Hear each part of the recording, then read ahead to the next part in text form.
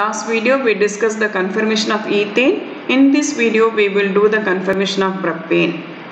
Free rotation is very important in conformational isomerism. That is, a sigma covalent bond undergoes free rotation at room temperature. For example, you have a single bond between carbon and carbon and this undergoes free rotation. But if you take this one where you have a double bond, the rotation is restricted. So whenever you have a restricted rotation, geometrical isomerism is possible. This I have discussed in the earlier video. I will give the link in the description box, go through it. So whenever you have a free rotation between carbon-carbon single bond, the conformational isomerism is possible. This free rotation is allowed in nitrogen-nitrogen single bond, oxygen-oxygen single bond and nitrogen-oxygen single bond. So we can say that the isomerism which arises due to free rotation of carbon-carbon single bond is called as conformational isomerism and the isomers are called as conformers.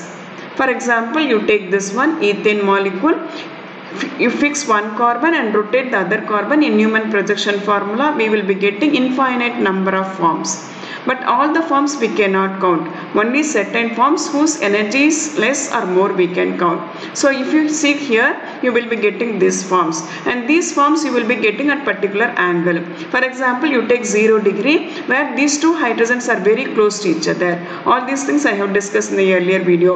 So these two hydrogens are very close to each other. Therefore they are there is a high strain or discomfort in the molecule because the electrons of this hydrogen will repel the electrons of this hydrogen. And that is what we call it as electronic strain or torsional strain and also the van der Waals radius of this hydrogen intersect with the van der Waals radius of this hydrogen. Therefore, there will be a van der Waals strain. So, due to this strains, this molecule will experience a high discomfort. So, the potential energy of this molecule is very high. So, when you see the potential energy diagram, here the potential energy is very high for this molecule at 0 degree and this is what we call it as eclipsed form. Now you fix the front carbon, rotate the back carbon. When you rotate, the potential energies decreases and it decreases until it reaches minimum value at 60 degree. At 60 degree we are getting this form where the potential energy is minimum because there is no van der Waals strain and there is no torsional strain because all the groups are very far away. And this form is highly stable whose potential energy is less minimum and this form is called a staggered form. Similarly, when you rotate from this 60 degree, the back carbon by fixing the front carbon the potential energy again increases and it reaches uh, this value maximum value where you are getting this form at 120 degree. And here the hydrogens are eclipsed with each other and here the potential energy of this form is very high.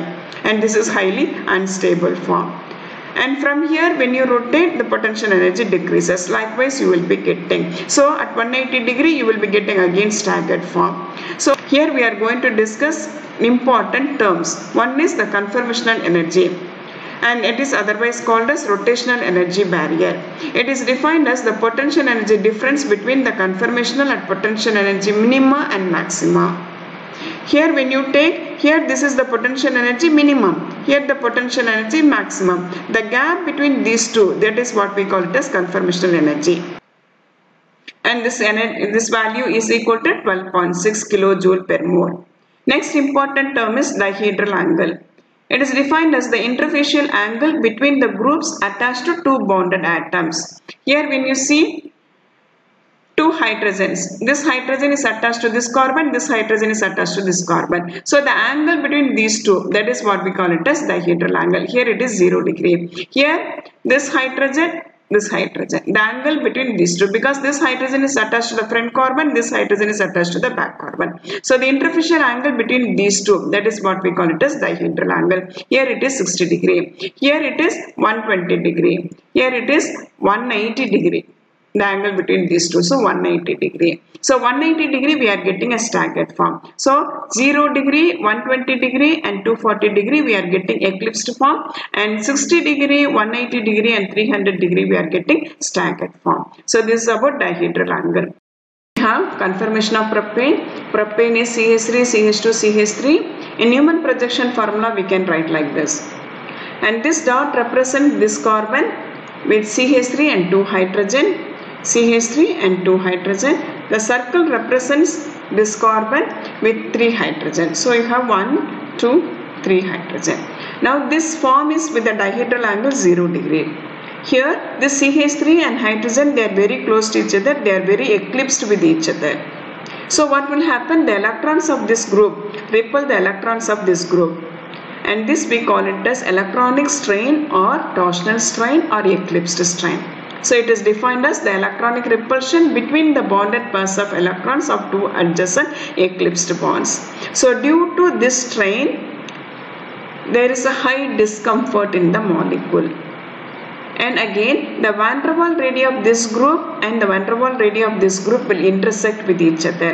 That is what we call it as van der Waal strain. So it is the repulsion between the groups attached to two adjacent atoms that means the van der Waal radii of this group will intersect with the van der Waal radii of this group. Therefore there is a high strain in the molecule. That is what we call it as van der Waal strain.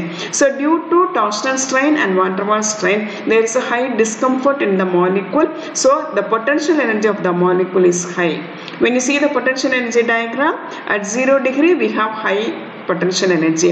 And we have this form here with very high potential energy and this form is what we call it as eclipsed form which is highly unstable. Now you fix the front carbon rotate the back carbon. The potential energy decreases and it reaches this value that is minimum value at 60 degree. So at 60 degree you will be getting this form where all the groups are very far away. So the torsional strain and van der Waals strain will not be there. So it will be less. Therefore the potential energy is minimum and this form is highly stable and this is what we call it a staggered form. Again when you rotate from this form when you rotate so from 60 degree when you rotate the potential energy increases and it reaches this value at 120 degree. So at 120 degree we are getting this form where CH3 and hydrogen they are eclipsed and here these two are eclipsed. So this we are getting eclipsed form. So here this potential energy is very high because there is a torsional strain and van der Waals strain. So due to this strain, there is a high discomfort in the molecule, therefore the potential energy is very high. Again when you rot rotate to 60 degree. There is a decrease in the potential energy and it reaches a minimum value at 180 degree. You will be getting this form where the CH3 and hydrogen they are very far away from each other. All the groups are very far away. So we are getting a stable form called a staggered form where there is no strain. That is van der Waals strain torsional strain will not be there or will be very less.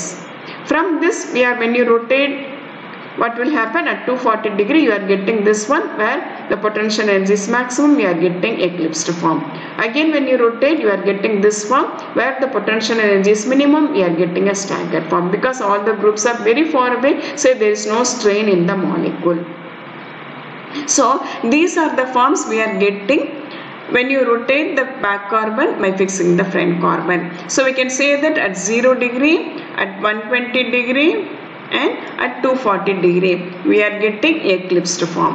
At 60 degree and 180 degree and 300 degree we are getting staggered form. So when you have a high potential energy the molecule is unstable. So the eclipsed form is unstable. But staggered form where the potential energy is minimum so it's a stable form conformational energy of this propane. This conformational energy here it is 13.8 kilojoule per mole which is greater than the conformational energy of ethane. This is because in propane we have hydrogen and CH3 they repel each other.